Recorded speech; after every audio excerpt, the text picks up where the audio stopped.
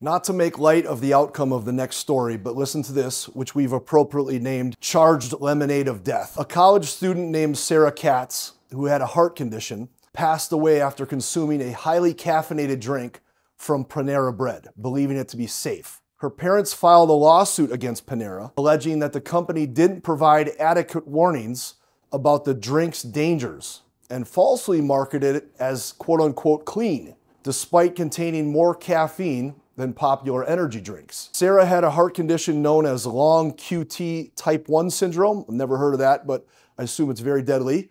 And she was meticulous about her health, including avoiding highly caffeinated beverages. Panera's charged lemonade came under scrutiny after a TikTok video revealed its unexpectedly high caffeine content. It's essential to note that caffeine sensitivity varies among individuals, and some medical conditions or medications can heighten this sensitivity. Most healthy adults can safely consume up to 400 milligrams of caffeine per day, but Panera's large 30 ounce charged lemonade contains 390 milligrams in one drink. The drink was not labeled as an energy drink and was placed alongside other non caffeinated options at the Panera location where Sarah purchased it.